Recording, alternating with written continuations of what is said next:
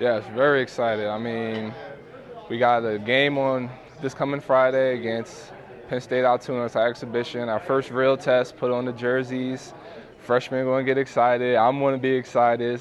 Like I'm my freshman year all over again. Uh, just instilling confidence, letting them know that being confident is everything. You got to be confident in whatever you do, whether it's in the class or on the court. They got to be confident and they got to pay attention, especially to the little details. Uh, means a lot to me. It holds me to a different standard. Means that I can't mess up. Like I have eyes watching me, and I know that I can't mess up because if I mess up, I'm letting my team down and myself down. So I have to be a leader on and off the court for my team, my family, my coaches, and most importantly, myself. Uh, it's a, he used the pad for a lot of drills. Him and Coach Taylor like to rough us up, but that's the way we're trying to play this year. A lot more physical and up tempo this year, especially the bigs. Coach Taylor, when he was here, he played very physical, so that's what he's hoping for us. This year, being uh, mentally prepared. Uh, last year, you was going to have your thoughts as like, oh, what's going to happen? What's going to be the outcome of this and that? Oh, this happened in the past. But this year, I just try to be mentally prepared, stay positive get, just get better every day and help my teammates and lead us like I'm supposed to. And it feels great to have Umar back up, man. Uh, we came in together as freshmen. You know, uh, last year was a downfall when he when he got hurt. You know, uh, it took a lot and a lot of pressure came on to, to me. A lot they put the best guards on me. So uh, uh, with Umar back, man, it's going to open up a lot of shots for a lot of people and a lot of people on our on our team who can score. So I'm really excited about that one. Yeah, definitely. Um, being 12, that's just like being an underdog. Every every single person on our team in life been underdogs for something. I mean, via anything in life, you know. Uh, we just feel like that's what we need. Open our eyes so that we have to take our respect. Besides people just giving it to us and respecting us. So I'm fine with it. It's worse than anything. Like he hitting you with that pad, you should be able to take any type of contact in the game. Like it seemed like that's how they get their anger out on us. Like that's how they keep hitting us with it. But uh, it helps a lot. Uh, they want us to finish everything. Uh, just challenging us. Like if you get if you get through a pad, you can score anything through a game. So it's not hard at all. Just annoying at times, but it'd be good. I think self-doubt, or when people doubt us, it always is motivating. And being fourth isn't that bad, but it's definitely kind of a insult because we should be first. We have the talent and we have a great coaching staff, and I guess we just have to prove to everybody that we should have been first. But all that really matters is the results, not what the pre preseason tool said. Just staying in the gym, working hard, uh, kind of leading the team as an example. I've been here for two years now, and I kind of know the ropes and how things work. So just looking out for those who are younger, I think uh, is definitely something I need to be doing this year, just improving on my game.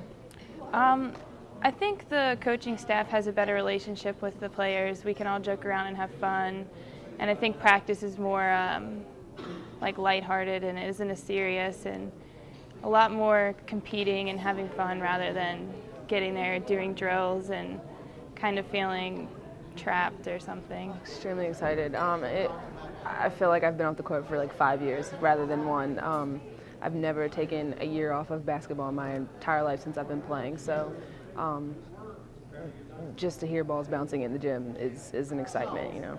So, yeah, uh, it, it kind of came from last year. Um, from a different perspective, not being able to lead by example, um, you kind of just got a coaching sense. Um, and, and kind of had to step up and do it anyways, um, especially since we had two new assistant coaches last year who weren't really familiar with the way Susan ran her program, I've, it's been ingrained in my head as a point guard since I've been here. So um, just to carry on with Joe and considering that he's uh, staying with an up-tempo style and keeping our offenses and things like that, it's like second nature to me to help them out since I know pretty much what's going on with that. Um, we said from the first day of preseason that we were going to die. Um, it, has been extremely tough. Uh, all of preseason, the workouts, the conditioning was, I don't want to say terrible, but it was very hard. And right now it's paying off because uh, at the end of the season and even during conference, when most teams are dead and can't get up and down the floor, we'll be, we'll, we'll feel fine and we'll feel like we can run until the day's over. Um, and it makes a difference. It makes a difference towards the end of the season. So. Um, being a leader is always is always one of the big challenges, um, especially when you're not used to that role. But I'm looking forward to working with the um, younger ones. Um, most of them are guards, my position. So when I'm in the gym, you get in the gym with me. You know, we, we all have to work hard, um, put in the work to be where we want to be, and that's to win another NEC, NEC title. So um, I'm willing to do whatever it takes to get them ready and to get a better season. Actually, this preseason, we've actually ran a lot. Um, Coach Eddie, who, who has been conducting preseason workouts and all the running basically in practice, he's he's an energetic guy. Like he keeps us going. He keeps us ready, motivated, ready to go, get in practice and get it done. Like that's all he say. We got to get it done. If you mess up, you're gonna run. Get it done. That's all he says. But um, it's gonna pay off in the long run, especially when um, fourth quarter, fourth quarter, second half comes, four minutes left, and you need and you need that extra push. It's all gonna it's all gonna pay off. Um, just like any team, when you, when somebody's hot, you find you give them the ball, feed them the ball. You know, um, um, as being a guard, you don't you don't force anything. As being a player, period, you don't force anything. You just let things come to you. Um, when anybody's open, you kick them the ball, and then when you're open, you take the shot. It's just sharing the ball, being teammates. It's just oh, we're here we're here for each other. So nobody's being selfish. We pass the ball and get good looks. For me, it's um, I mean shooting was always my thing, but in high school I was a point guard, and I'd like to develop more of a ball handling. Um, skill and be able to share the ball a little bit more, get more passing, more um, assists, get my post players some nice passes down there so they can score.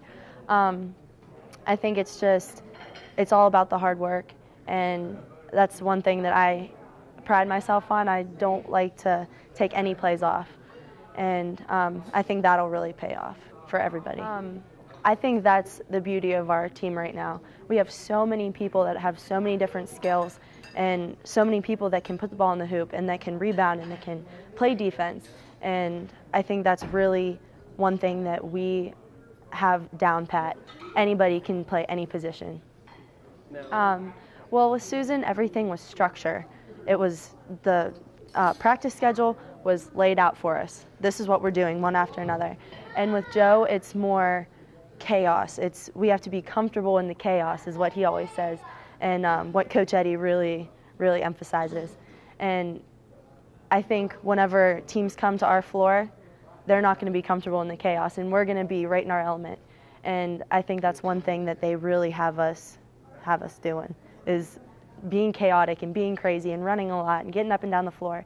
And other teams aren't going to be ready for that from us. We were out there running. They have us in the gym going hard, doing different types of things other than running. They have us lifting hard. They have us um, doing jumping jacks with bricks. um, but it's really going to pay off whenever other teams can't keep up. We still have our legs and they're completely done for. So I think that the coaches really have us well prepared.